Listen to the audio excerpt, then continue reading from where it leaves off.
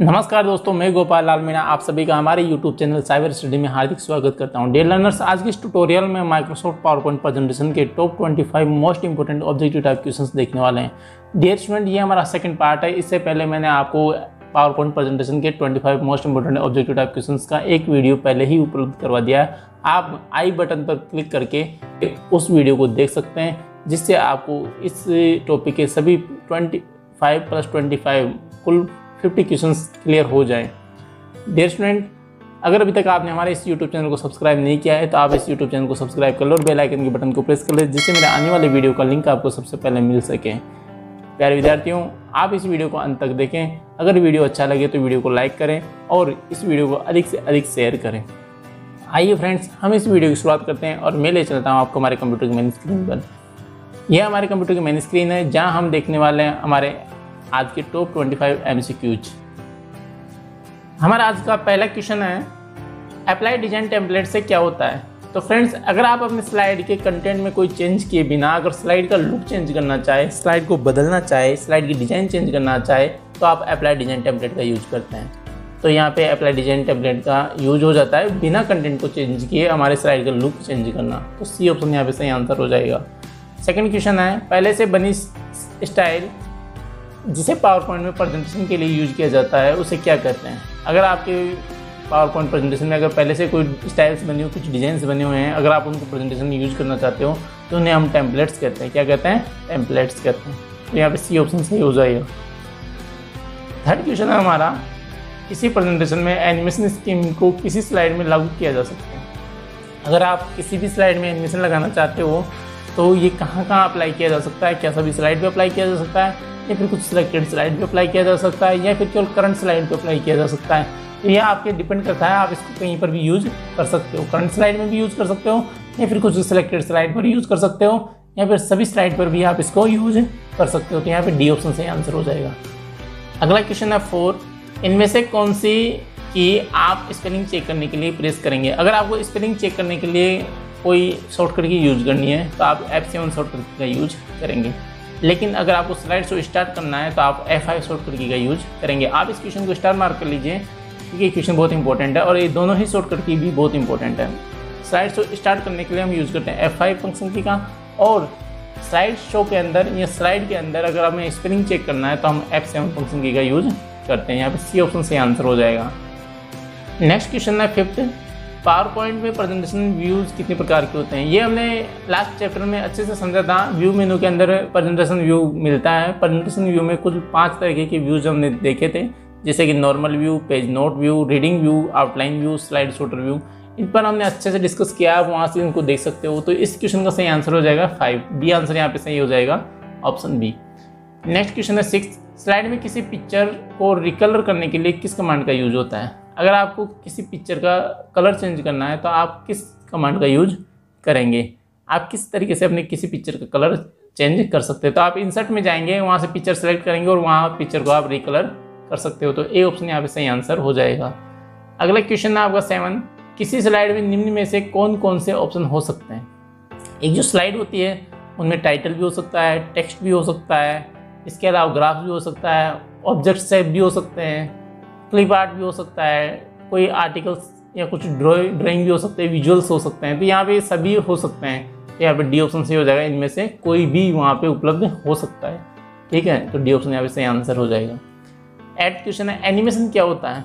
तो मैंने अच्छे से आपको समझाया एनिमेशन किसी भी परमानेंट चीज़ में, कोई इस तरह चीज़ है कोई ड्राइंग है, कोई टेक्स्ट है, कोई पिक्चर्स है, उनमें मूवमेंट देना, उनको हिलाना ढुलाना एक जगह से दूसरी जगह तक उसकी पोजीशन चेंज करना, ये क्या होता है? एनिमेशन होता है। यहाँ पे बी ऑप्शन से हो जाएगा। स्थिर चित्रों को गति देना। क्या? मोशन लगाना यहाँ पे। इसका सही आंसर हो जाएगा बी ऑप्शन स्थिर चित्रों को गति देना।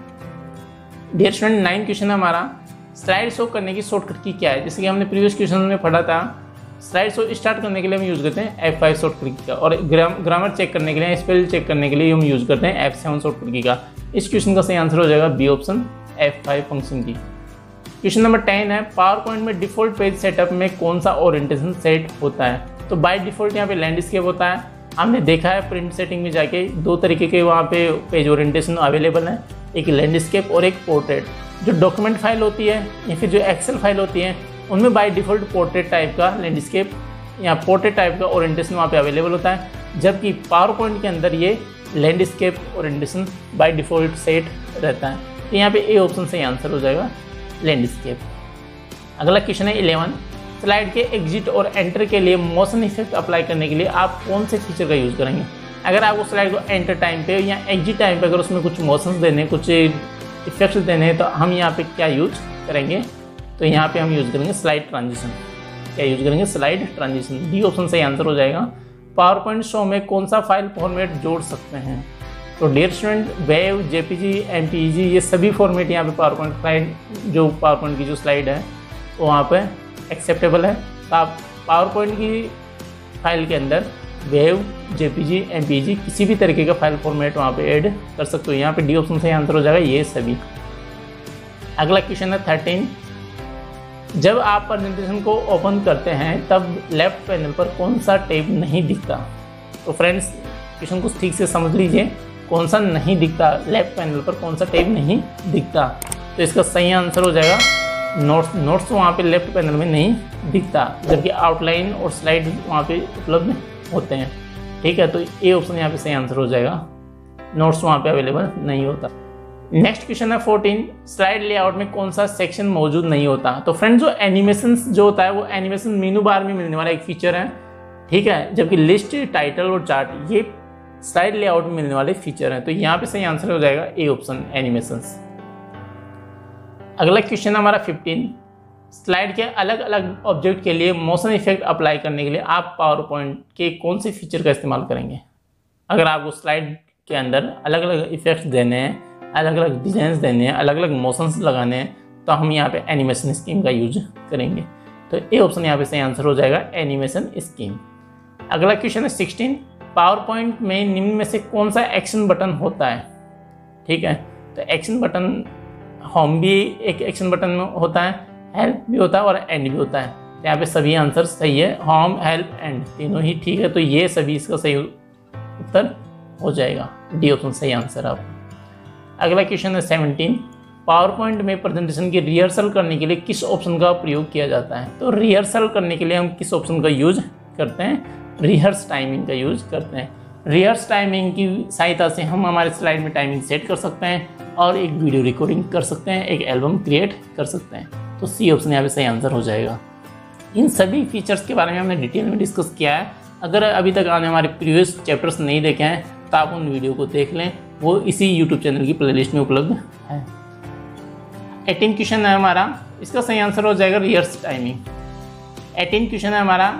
इनमें से किसमें हम पहले से बने हुए प्रेजेंटेशन को ओपन कर सकते हैं। तो यहाँ पे कुछ शॉर्टकट की दी गई दी गई है। चार शॉर्टकट की यहाँ पे दी गई है। कंट्रोल प्लस ए से हम हमारे कंटेंट को सिलेक्ट करने के लिए यूज़ करते हैं।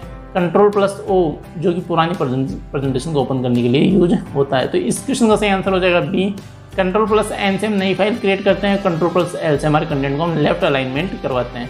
तो यहाँ पे हमारा सही आंसर हो जाएगा कंट्रोल प्लस ओ जो कि हमारे पुरानी प्रेजेंटेशन को ओपन करने के लिए यूज़ होता है तो बी ऑप्शन सही आंसर है।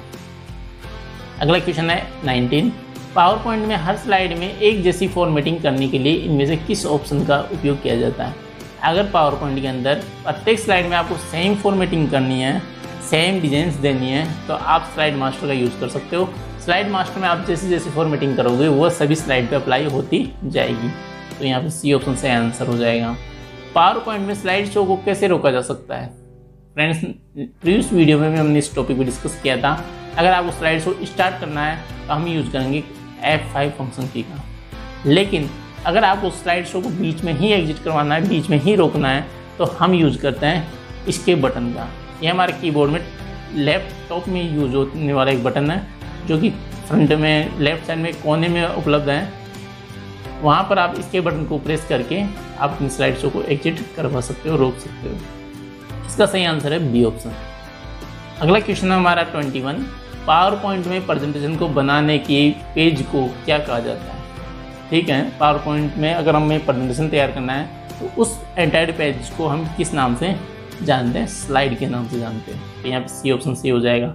अगर हम एक्सेल की बात कर रहे होते हैं तो हम उसको सीट कहते हैं। अगर हम वर्ड फ़ाइल की बात कर रहे होते हो तो वहाँ पे हम इसको डॉक्यूमेंट कहते हैं। जबकि हम पावर पॉइंट के अंदर इसको क्या कहते हैं? स्लाइड कहते हैं।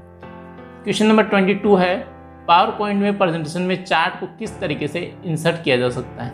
अगर आपको प्रेजेंटेशन के अंदर कोई चार्ट इंसर्ट कराना है तो आप उसको किस तरीके से इंसर्ट करवा सकते हो? तो आप इंसर्ट टूल में जाइए और वहाँ से चार्ट इंसर्ट करवा सकते हैं। तो सी ऑप्शन से आंसर हो जाएगा। अगला क्वेश्चन है हमारा ट्वेंटी थ्री पावर पॉइंट में सभी स्लाइड में फॉन्ट को रिप्लेस करने के लिए किस ऑप्शन का यूज़ किया जाता है?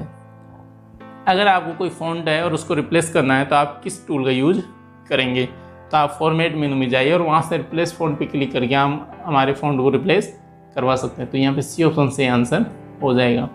सेकेंड लास्ट क्वेश्चन है, इनमें से किस व्यू में हम सभी स्लाइड को एक साथ देख सकते हैं? तो फ्रेंड्स एक साथ अगर आपको सभी स्लाइड को देखना है तो हमें यूज़ करना होगा slide sorter view slide sorter view के अंदर हम सभी स्लाइड को एक साथ देख सकते हैं। हम उनका लेआउट एक साथ देख सकते हैं कि किस तरीके से हमें हमारा स्लाइड्स नज़र आने वाली है और वहाँ पर हम उनकी पोजिशन भी चेंज कर सकते हैं। तो ए ऑप्शन यहाँ पे सही आंसर हो जाएगा। अगला क्वेश्चन है twenty five M S power point में स्लाइड डिज़ाइन का ऑप्शन किस टूल बार में होता है? एम एस पावर पॉइंट में स्लाइड डिज़ाइन का ऑप्शन किस टूल बार में होता है? तो इसका सही आंसर है फॉर्मेटिंग टूल बार में। फ्रेंड्स ये थे हमारे 25 मोस्ट इंपॉर्टेंट क्वेश्चंस ये पहले भी कभी ना कभी किसी न किसी एग्ज़ाम में पूछे जा चुके हैं और आगे भी पूछे जाने की पूरी गुंजाइश है। फ्रेंड्स इसके अलावा मैं आपको दो क्वेश्चन यहाँ पे प्रोवाइड करवा रहा हूँ, दे रहा हूँ।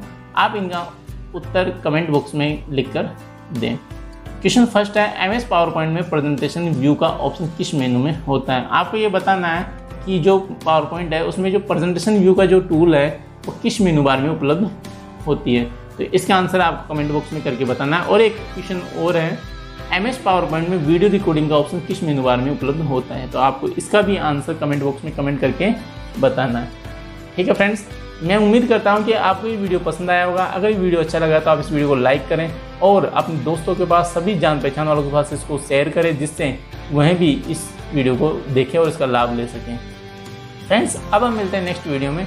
तब तक के लिए आप खुश रहो और खुशियाँ बांटते रहो। वीडियो एंड तक देखने के लिए आपका दिल की गहराई से बहुत बहुत धन्यवाद। Thank you so much